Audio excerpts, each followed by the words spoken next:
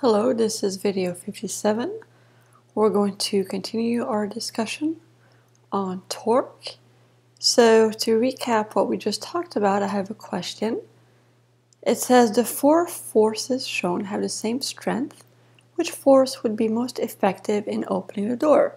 So we just talked about torque and how it's talking about the tendency of a force to cause a rotation. So we have four different forces here, so which one would, cause more rotation? which one would produce or which one would exert more torque? And we just learned that the definition of torque was force perpendicular times r. The perpendicular component of the force is what causes the rotation. We said that if a force is parallel to the object being rotated, it does not cause any rotation. So F2 does not exert any torque. We said that R is the distance from the pivot to where the force is applied. The bigger the R, the more torque. So F1 is has an R that is this big, while F4 has an R that is that big. So F1 definitely exerts more torque than F4. So we can cross out F4. And then we are having to uh, decide between f1 or f3. Are they the same or different? So only the perpendicular component causes rotation. So f1 is perpendicular. If you're perpendicular, you're getting the most out of your force because all of it is causing rotation. When you're at an angle, well, that perpendicular component of this diagonal force is only this big because it has a horizontal component that does not cause any rotation. Only the perpendicular component is causing a rotation, so it's going to be smaller than F1 because the components of a force, of a vector, are always smaller than that vector. So the best answer is force 1 exerts more torque on the door. So now we're ready to talk about our second definition of torque. This one is still the same definition, that is still a force causing rotation, but we're using a slightly different equation. Instead of using torque equals F perpendicular times R, we're going to use F times D. And D is called the moment arm, it's also called the lever arm, it's the perpendicular distance from the pivot to the line along which the force acts. So that's a lot to take in, but this picture really helps to understand. So D is right here. D is this distance right here. So we have this force here that's diagonal. And what we do is we can extend this force line. Some people call it the line of action. I just like to call it the force line whichever wherever the force is, just extend the line backward and forward if you want to. Just extend it. And then you want to find the shortest distance from the pivot to that force, to that force line. And the shortest distance is always perpendicular to a line, right? If you have a line and you have a point, what's the shortest distance to that line? Well, you're not going to go that way or that way. The shortest distance is always the distance that is perpendicular to your objects. So that's what this moment arm here is that shortest distance to that force line. So that being said, if we know r here and we know this angle, then we could find that moment arm by using r sine theta because D would be opposite the angle. So it turns out that using this definition of FD, if we're given angle theta that touches the horizontal, that D gets written as r sine theta, and we have f r sine theta for definition. If we go back to the previous definition from the last video, in that one, we said, okay, f perpendicular is right here, that's f perpendicular, that's opposite of my angle, that's going to use f sine theta, and then I'm going to multiply by r.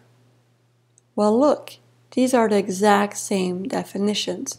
It's just a different way to think about it. Most people, when I mention the second definition, they think to themselves, well, this is much harder. I prefer that first definition.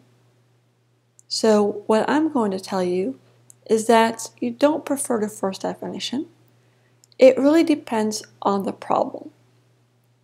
So, before we get to that, we'll finish out this slide here.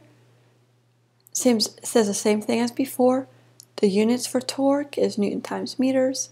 The sign convention for torque is if you're rotating counterclockwise, it's positive. If you're rotating, rotating clockwise, it's negative. So the only thing that has changed here in this definition number two is we're writing F times D instead of F perpendicular times R.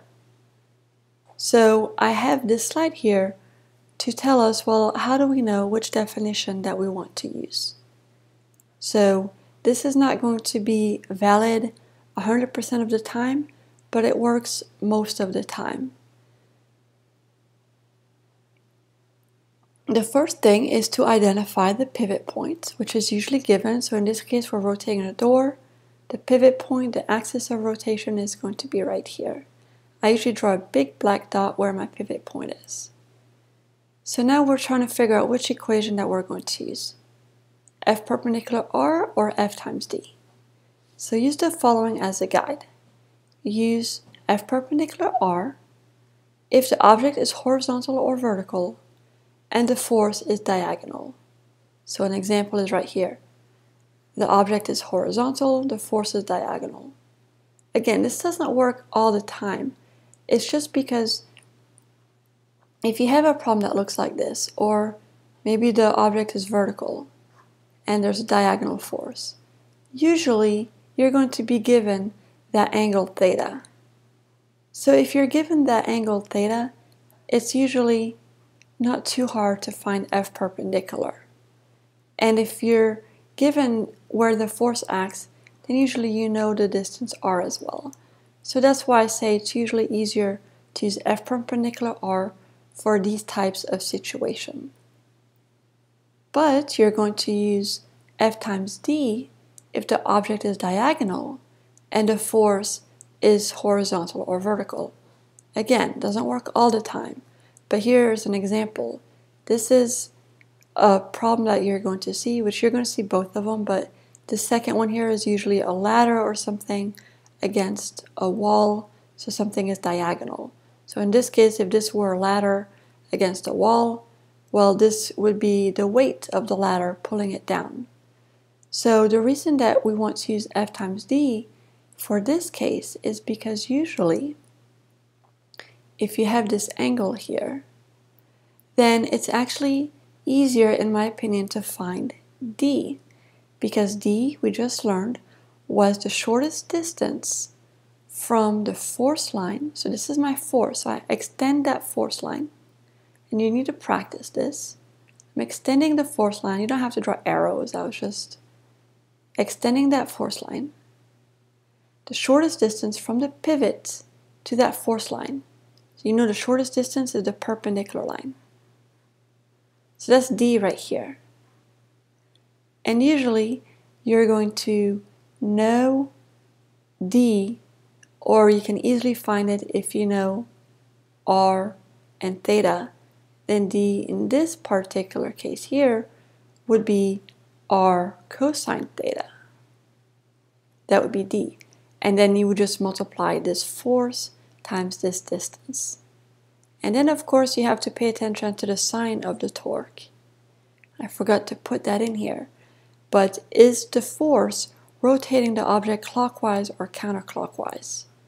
And the way to know that is you really have to fix this point. What I do is I physically put my thumb, where's my thumb? There's my thumb.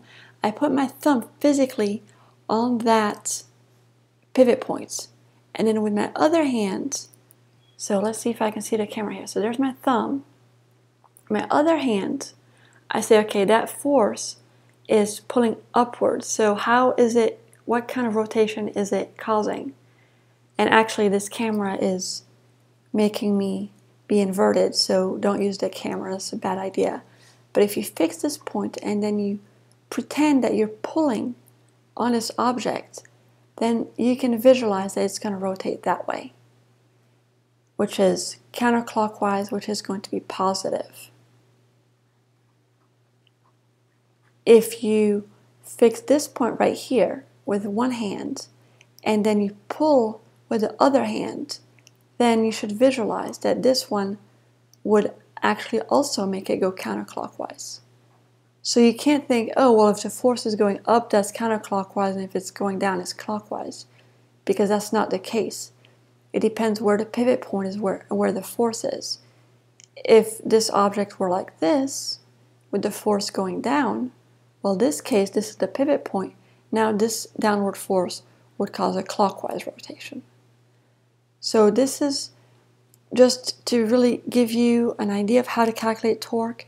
Once you know which definition to use, then plug and chug into that equation and pay attention to the sign of the torque. So we're going to do some examples. I'll have to do that in part B.